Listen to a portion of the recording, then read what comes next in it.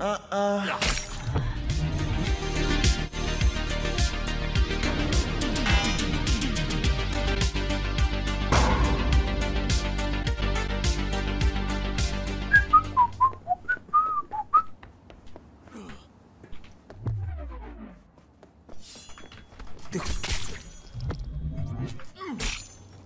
No.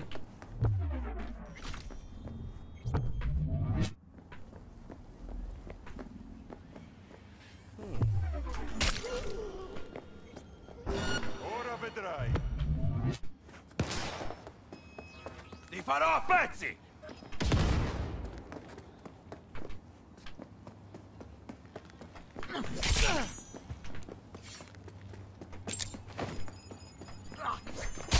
Quel bastardo sta uccidendo i nostri uomini migliori!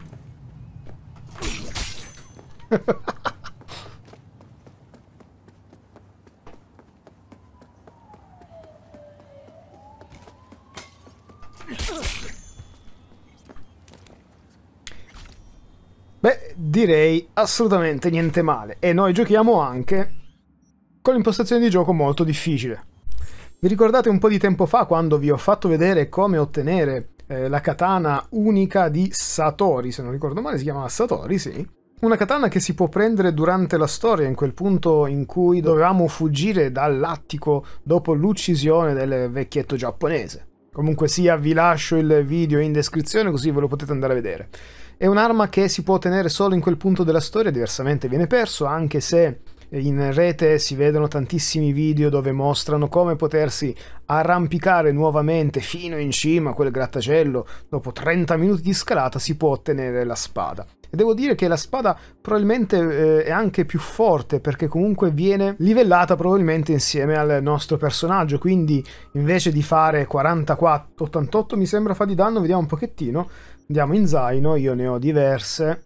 A quel punto della storia sì, farebbe un 88 di danni, mentre se la prendete quando sarete di livello per esempio 50 arrampicandovi su per il grattacielo forse farà tipo 120 o qualcosa del genere. In ogni caso una volta che poi viene convertita nelle varianti eh, epiche e poi leggendario, tutto sommato la differenza che perde o comunque che ha è relativamente piccola a confronto alla katana che trovereste attualmente sul tetto.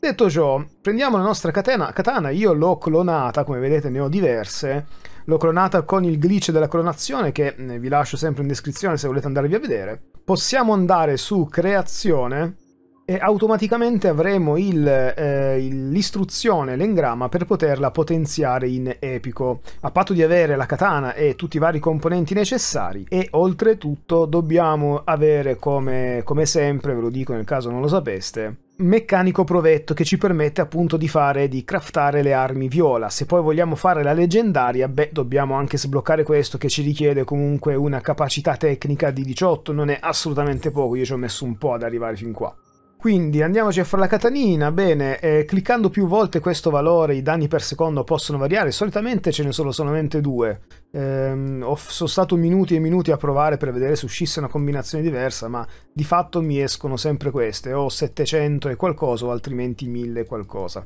In questo caso vedete il danno, i danni sono tutti uguali, quello che cambia fondamentalmente è il numero di attacchi che possiamo sferrare al secondo, in questo caso 5, in questo caso 3.38.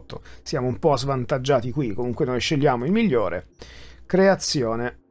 Molto bene, a questo punto avremo un'altra katana, ci toglieranno quella precedente, eh, no, inventario, zaino ci tolgono quella precedente, la blu viene perduta e ci creano una viola. Infatti eccola qua, 1007 ed è più potente di un'altra che avevo fatto che evidentemente mi ero sbagliato a craftarla, quindi cancelliamo questa e ci teniamo questa che è 1007. Siamo passati quindi da un 88 di danni a eh, 201, già una gran bella differenza il danno, quello che fa speciale quest'arma per chi non lo sapesse, è danni critici, come vedete nasce con un più 510%, una roba pazzesca. In questo caso vediamo un pochettino 510 è salito a 587, diciamo che non cambierà tantissimo il risultato finale. A questo punto creiamo la versione leggendaria, ovviamente si creerà automaticamente l'istruzione per la leggendaria, ci richiede la leggendaria viola appunto, Vediamo un pochettino che cosa ci esce. Questa viene addirittura peggiorata perché la nostra fa 5 attacchi e 1100 e come vedete non cambia. 222. Quindi scegliamo questa 1110 DPS, 222 di danni, 5 attacchi al secondo. Vediamo un pochettino che cosa ci esce. Andiamo qua in zaino. Eccola qua, c'è uscita 1000, 1058 DPS, 211 di danno, 5 attacchi al secondo, quindi niente male. 141, 172 danni fisici, eh, danni critici è rimasto fisso 510%, quindi abbiamo perso qualcosa dalla viola che era migliore, 540 se non sbaglio. Proba probabilità colpo critico 51%, sanguinamento 20%. Questo punto che è una leggendaria, se volessimo potenziarla ulteriormente, se abbiamo tutti i materiali e il livello adatto, possiamo andare su potenziamento, scegliere la leggendaria e incominciare a potenziare. Costano veramente un botto comunque, eh. teniamolo a mente. Facciamone solamente un paio giusto per... Anche perché io ho questa qui dove ci ho speso già un pochetto di più, guardate quanto costano adesso gli upgrade 272, 204, tantissimo, veramente una cifra esagerata. Non dimentichiamoci le abilità che possiamo attribuire con eh, questo skill tree. Io non ne ho abilitate tante, st mi sto tenendo a parte un po' di punti, però ho fatto tipo questa, che gli attacchi potenti con le lame infliggono il 50% di danni in più. Aumenta del 20% la probabilità di colpo critico con le lame. Poi attacchi difensivi, vabbè, questo qua infliggono fino al 300% in più. Credo che per difensivi intenda quando ti attaccano, schivi e poi contrattacchi. E poi ce ne sono anche altre interessanti, tipo questa qui che però bisogna essere livello 15. Aumenta dell'1% i danni con le lame per ogni percentuale, ogni punto percentuale di salute mancante del nemico. Il sanguinamento inflitto con le lame può accumularsi fino a 3 volte aumenta del 25% i danni critici con le lame, più 1% per il livello talento, quindi questo sarebbe davvero tanto importante, ma bisogna essere comunque livello 20, il che non è affatto facile, io sono a 10 come vedete. Bam!